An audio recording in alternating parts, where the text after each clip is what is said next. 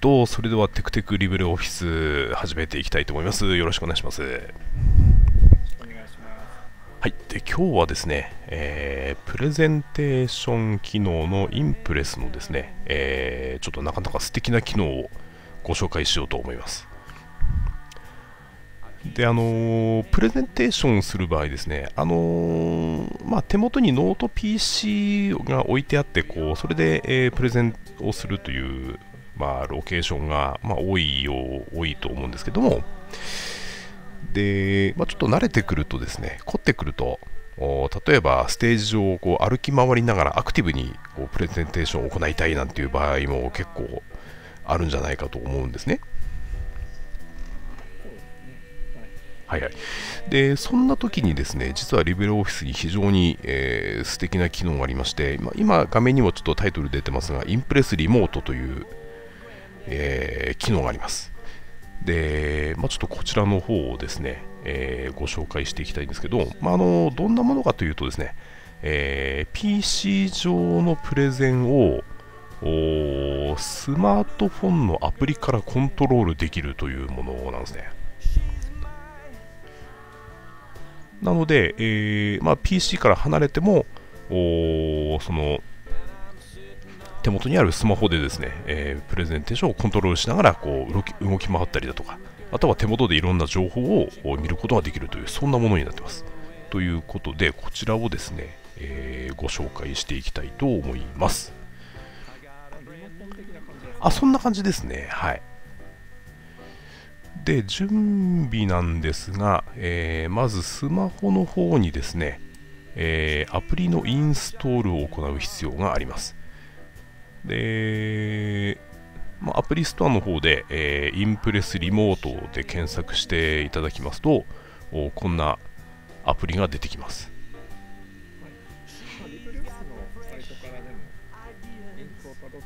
あそうですね、リビューオフィスのサイトからでもリンクでいけますね。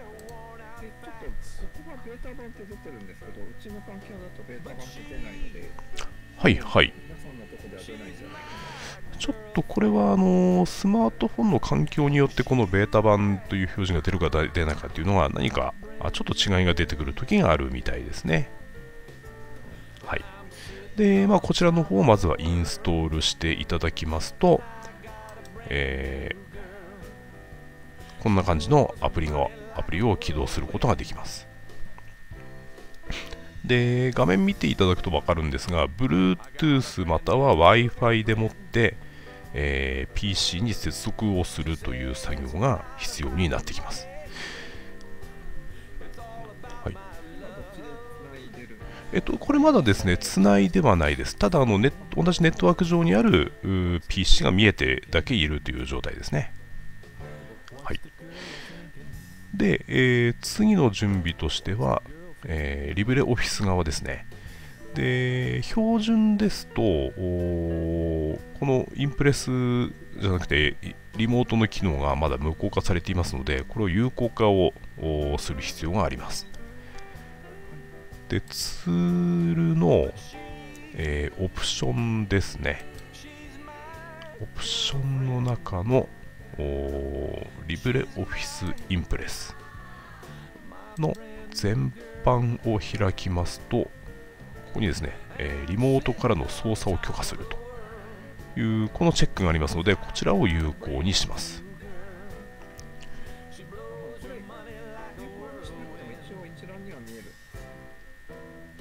あえーと、見えるだけは見えるようですね。ただ、コントロールはできる状態にはなってないので、こちらをえ有効にする必要があるということですね。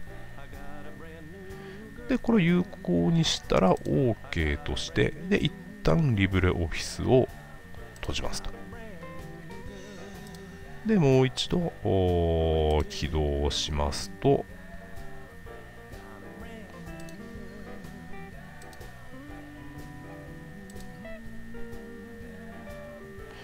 とですね、えー、スライドショーというメニューの中にインプレスリモートというメニューが現れます。で、こちらをクリックします。そうしますとですね、えー、これであのまずリブレオフィスの方があ接続待ちの状態になりますのでそうしましたらアプリの方から PC に接続に行くわけですそうしますと接続用コードが出てきますので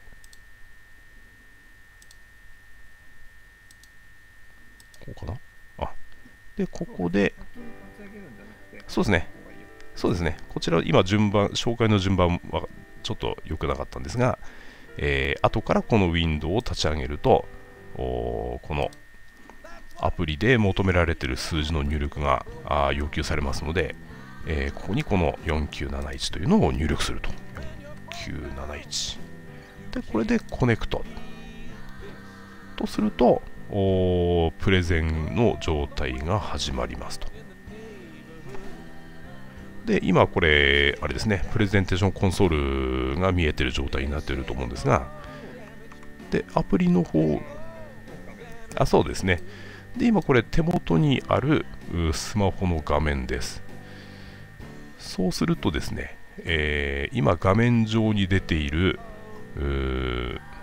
スライドの状態が手元でまず見れるようになっていると。で、また、あのー、これはあのテスト用なんで、ここはいノートを設定してないんですけども、もしノートを入力していれば、ここにノートの文章を表示させることができると。これあのノートを多用する方には結構便利なんじゃないかと思うんですけども、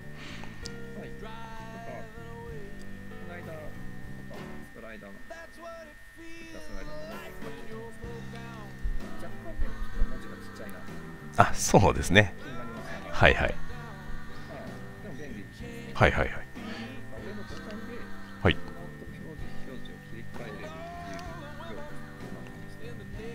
あ上のボタン？これかな？あ違う。お。間違った。えー、これですかね。あなるほどなるほど。ここで画面のモードを切り替えることができるということですねはいはいはいはい。で、えー、まあ、基本的な操作ですけども、この画面をスライドすることで、えー、スライド自体をこう進めていくことができるわけですね。こんな感じですね。あ、本当ですね。ねはいはいはいはい。まあ、ここの辺は、まあ、お好みかなというところですが、まあ、こんな感じで、えー、スライドを操作することができるわけですね。で、まあ、これ前後に動くだけではなくて、えー、こちらのボタンから一覧の中からページを任意に選ぶこともできると。これ便利ですよね。これパソコンでやってると、みんなに一覧が見えちゃうじゃないあ必ず一旦このプレゼンテーション状態を解除して、はい、っていうことをやらなくてはいけないと。確かに、はいてはいはいはいはいはい。確かにその通りですねこれはなかなかあのこのアプリインプレスリモートを使った独特の便利さかなというふうに思いますが。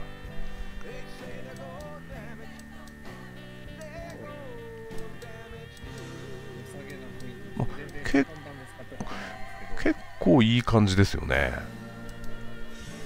でちなみにタイマー機能もあります。こちらで、えー、例えばあ、どうすんだろう。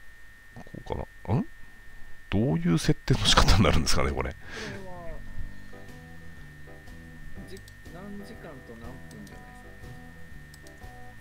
ということは 0, 0時間の例えば1分とかで、えー、開始と。と残り1分、まあこ、こちらの方に残り時間を表示させることができるわけですね。なので、えー、今回の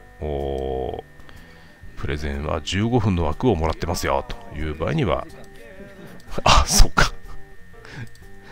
えー、15分ですよという場合には0時間の15分と。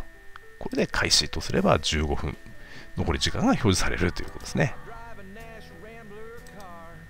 でスライドショーの表示なんかあ終了なんかもここでコントロールすることができると。ということで結構これはなかなか便利そうですよね。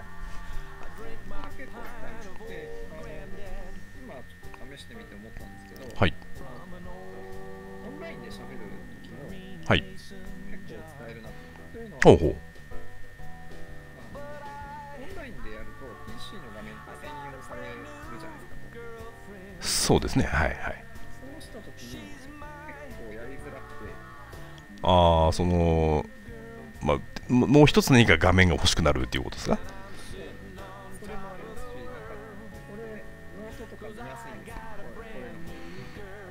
なるほど。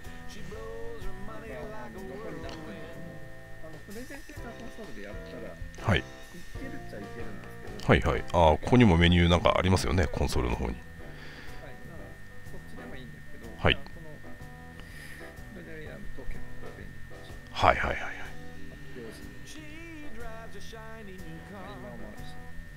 そうですね。はい。ということでこちらあの結構この機能を知らない方が多いんではないかというふうに思われるんですが、まあなかなかこのインプレスを活用していいところを見せるという意味では結構有効に使えるツールではないかと思いますので、まあ、こちらインプレスリモートですね。ぜひ、えー使ってみていただければと思います。はい。といったところで今回のテクテクリブレオフィスはインプレスリモートのご紹介でございました。というところで、えー終わりたいと思います。ありがとうございました。